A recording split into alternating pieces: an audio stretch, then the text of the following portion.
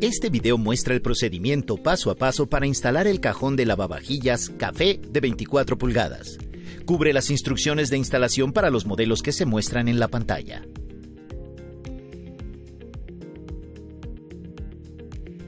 Antes de continuar con la instalación, asegúrese de que el lavavajillas esté completamente cerrado en el momento de la instalación.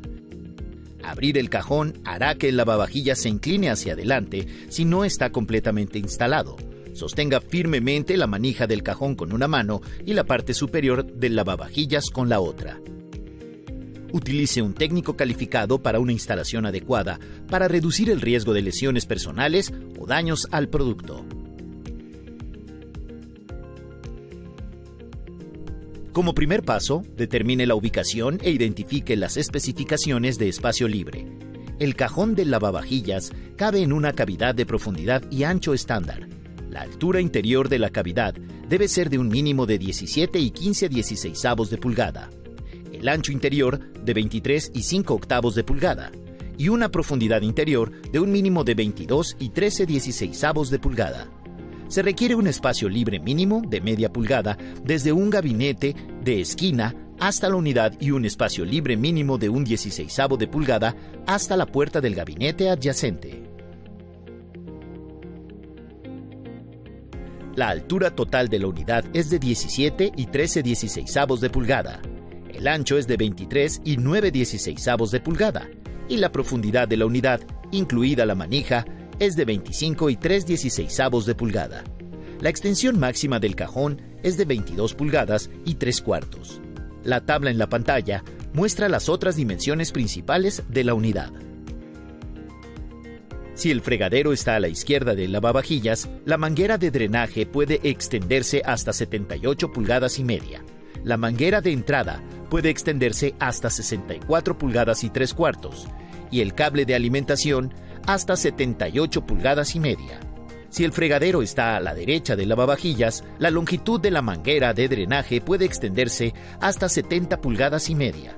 La manguera de entrada puede extenderse hasta 49 pulgadas y el cable de alimentación hasta 78 pulgadas y media. No acorte la manguera de entrada. Utilice toda la longitud.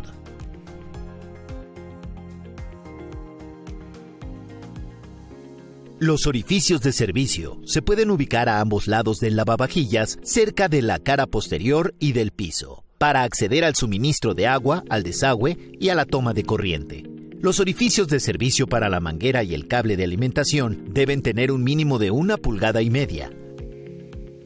Para evitar que la manguera se doble, los bordes de los orificios deben estar a una distancia máxima de media pulgada del piso y un cuarto de pulgada del borde interior trasero.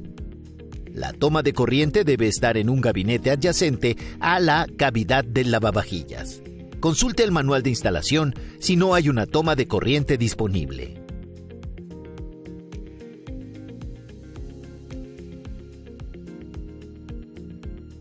Retire la espuma de embalaje de la parte superior y frontal de la unidad.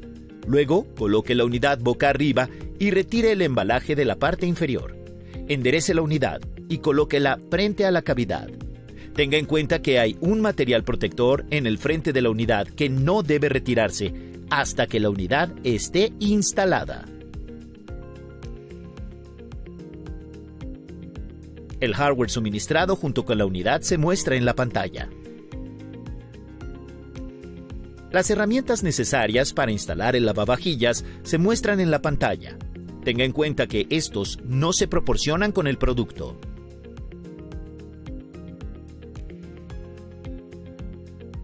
Los requisitos eléctricos de la unidad se enumeran en la pantalla. Asegúrese de seguirlos antes de comenzar la instalación.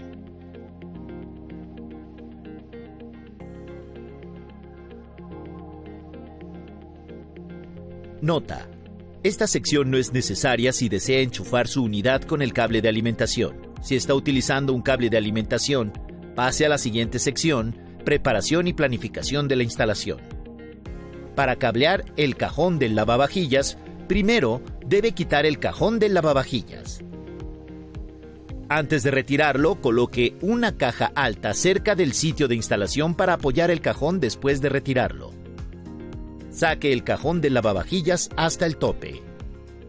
Presione las pestañas de liberación en ambos lados y presiónelas hacia atrás para liberar el cajón de sus guías.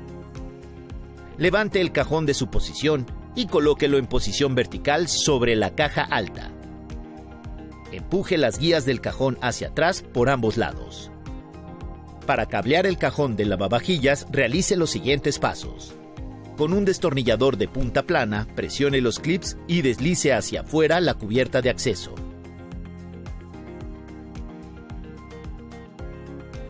Desatornille también la tapa del módulo electrónico.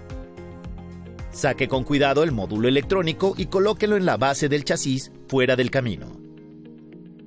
Con un destornillador suelte la cubierta de plástico del arnés y abra la bisagra. Deslice la cubierta del bloque de terminales hacia un lado para desbloquearla y abra la bisagra para acceder al bloque de terminales. Afloje los cables negro, blanco y verde como se muestra. Nota. Desenrosque solo dos vueltas terminales blanco y negro. Son terminales de horquilla y no requieren quitar los tornillos. El suelo requiere que se retire el tornillo. Es un terminal de anillo.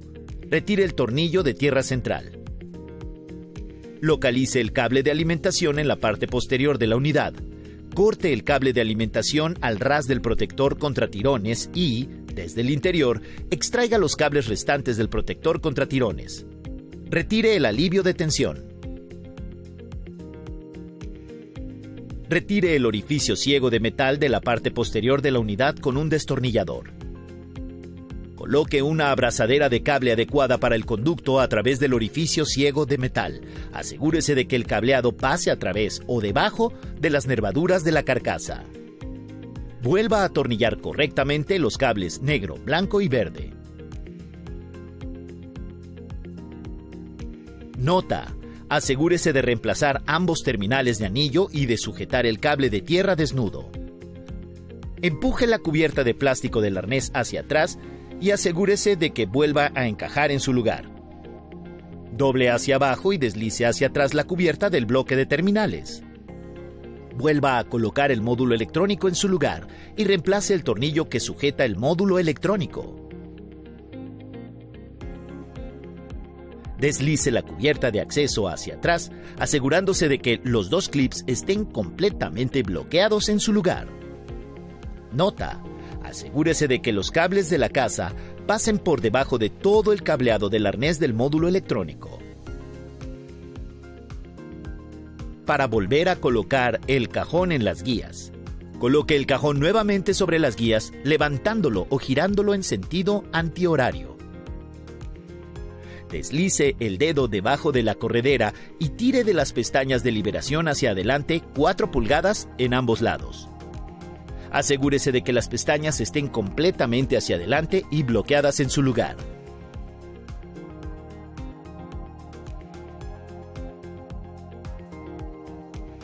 puede asegurar la unidad sin quitar el cajón para platos, método A, o quitando el cajón para platos, método B.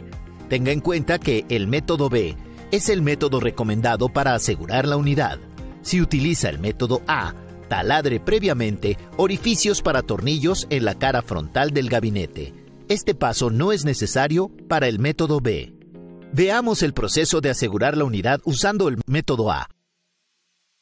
Hay seis puntos de montaje integrados en el chasis. Si no puede utilizar esas ubicaciones de montaje, coloque los cuatro soportes de montaje laterales en la parte delantera.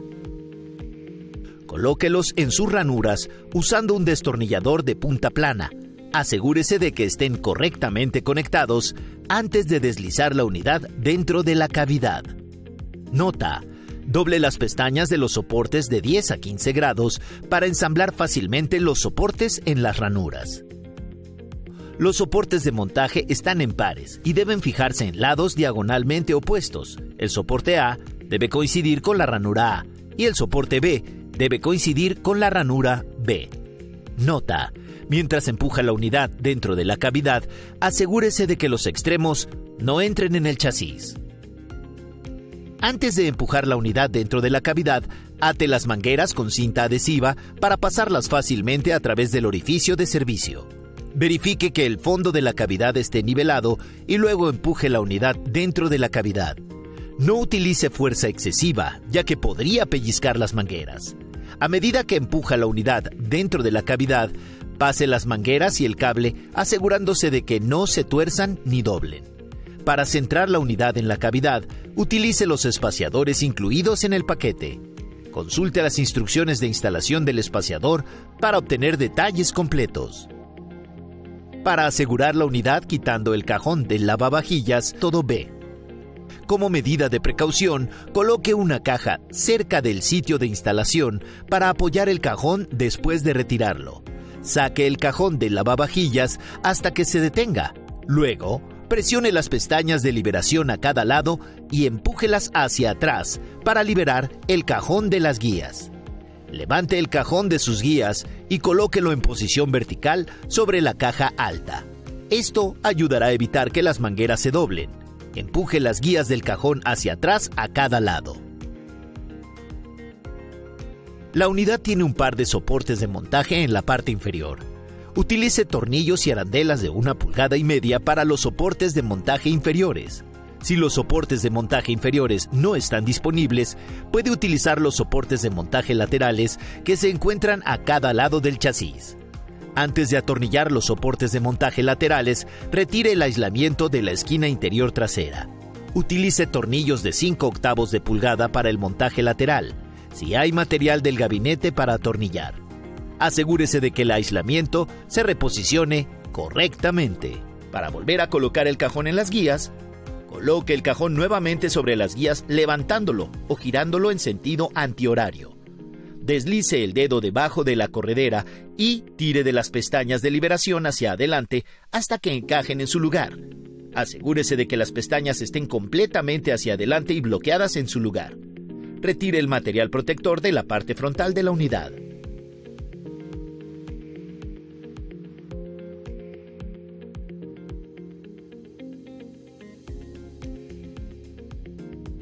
A continuación, asegúrese de que las pestañas estén en drenaje. Para lavavajillas que utilizan espacio de aire con unión de manguera de drenaje, utilice un kit de espacio de aire disponible comercialmente. Al instalar dos cajones individuales, esto proporciona un drenaje separado para cada cajón y elimina los problemas de drenaje cruzado. Asegure la manguera de drenaje a un espacio de aire. La altura máxima hasta la parte superior del air brake es de 37 y 3 octavos de pulgada. Para lavavajillas que utiliza un conector de manguera de drenaje en un sifón del fregadero o en una T de desagüe, atornilla el soporte de la manguera de drenaje a través del bucle alto o la pared trasera a una altura adecuada entre 29 y media pulgadas y 34 y 3 cuartos de pulgada del piso. Empuje la manguera a través del soporte de la manguera de drenaje hasta la altura requerida si el espacio es limitado. Asegúrese de que la manguera de drenaje esté encaminada directamente a la unión para que el agua residual no se acumule en la manguera. Retire el exceso de material de la manguera de drenaje si es necesario. No acorte la manguera de entrada.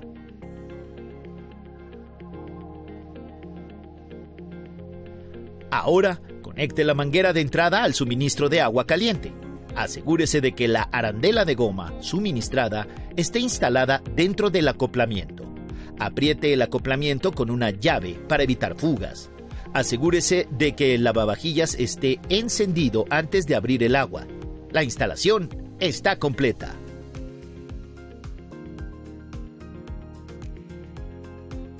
En la pantalla se muestran algunas técnicas básicas de solución de problemas. Para obtener más ayuda, consulte el manual del propietario para conocer los detalles de la garantía y su centro de servicio autorizado más cercano, o contáctenos a través de nuestro sitio web.